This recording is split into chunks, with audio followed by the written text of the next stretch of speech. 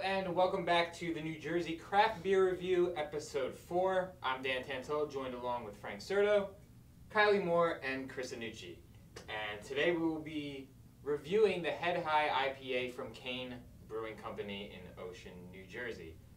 So I've been a big fan of everything that Kane Brewing Company has done so far, but I haven't had this one yet. Frank, what could you tell us about this High Head IPA?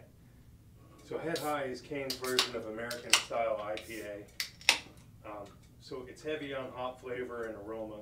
You should notice a grapefruit flavor with, with citrus, tropical fruits, and pine aromas. Uh, it's got a straw color and a crisp flavor. The uh, ABV is uh, 6.5. Alright, cool. IBUs? I don't. I think it's 60. Uh, we did Vine Shine last time, and so this is kind of similar. Uh, this is highly regarded in New Jersey as one of the best beers, let alone IPAs, and it's got you know acclamation from other uh, other states and other you know beer drinkers. So super excited to show you this. Um, let's get into it. Color.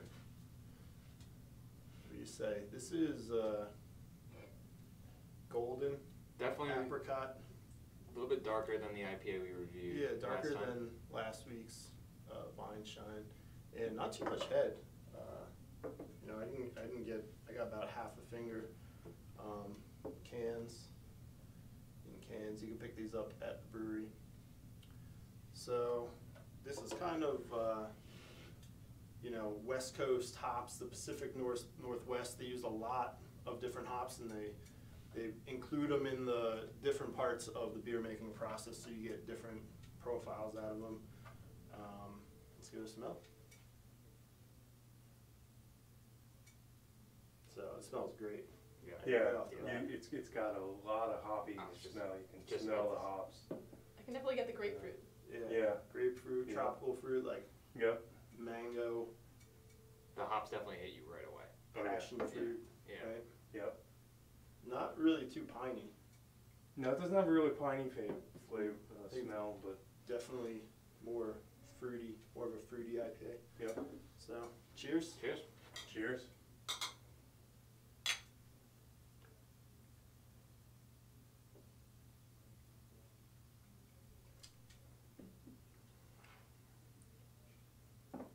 Pretty good. Yeah, I like it a lot.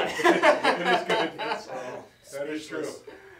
Speechless. But yeah, Yeah. just uh, incredibly drinkable, you know, I would say. Yes. And Yes. very fruity, a lot of stuff going on, not too bitter. You know, the bitterness is there, you know, like it should Right. be. Right. But It's got it's a really nice balance. Yes. It's not it's not overwhelming at all. Right. Lots of hops, but like Kylie said, not overwhelming, but the hops is definitely there. You're definitely tasting it. Yeah. And I think like the, I don't know if you have info on their yeast or whatever, but it's like, it seems like the yeast strain is kind of what's making it Yes. really like stand out. Yeah, I think it's a it's an American uh, like American ale yeast. Yeah, they probably use Uh-huh. propri- proprietary stuff. Like a lot of Right, times right, when right.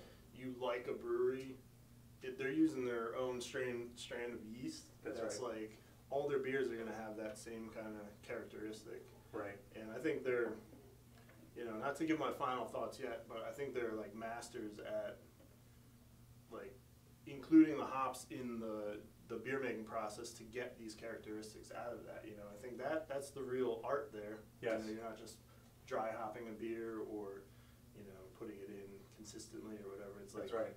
Yeah. to know what what flavors you want to pull out of them. I think that, and then I think it shines here. You know. Yeah, it does. It does. It's really nice, nicely balanced, but it's smooth. You you get enough of the hops, you know, but it's not overwhelming. Yeah. Yeah. All right, so uh, we'll finish these up and we'll come back with our final thoughts in just a bit. All right, so we've just about finished the rest of our Head High IPAs, and what is everybody's final thoughts on this one? I thought it was great. I thought it was really flavorful, and it uh, made me I think it made me like IPAs a bit more. Cool. I'm on board. Yeah, I think, like I said before, I think the the biggest thing to look for is all the different flavors from the hops that you can pick out of it, and I think Kane just does a great job of, of you know including them in the beer making process to get that out. I think it's phenomenal.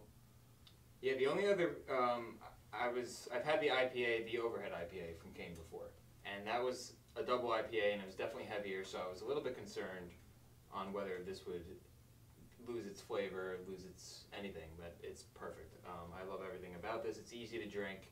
There's tons of flavor there. Would you take a bath in it? I don't know if I would necessarily bathe because I'd want to drink it. Yes. Like the second that the second that I, I was smelling it before in the previous segment, I just couldn't wait to have a sip. What about I would a fill it with my swimming pool. and, and you know, to, to Kane, it, it's a nice. This this beer has a nice balance Yeah. of everything. But I particularly like Kane, like like you said, they really know how to pull their flavors out in all their different beers. Yeah, and we'll definitely have other stuff from them, you know, in the future. Yeah. Looking forward to it. Yeah. And uh, like we said, Kane Brewing Company is in Ocean, New Jersey. But uh, where are some other places, Kylie, that we can uh, find? Thank you for asking. Well, you can get growlers and cans at the Brewing Company in Ocean, but you can also get it at Uno's Pizzeria and Grill in Hamilton, at Frankie's Bar and Grill in Point Pleasant, New Jersey, or Brick House Tavern and Tap in West Windsor. All right, thanks so much for watching. Make sure you comment, like, subscribe. Tell us what beers that you're looking forward to trying, New Jersey breweries and stuff like that. Again, thanks for watching, and cheers. Cheers. Cheers.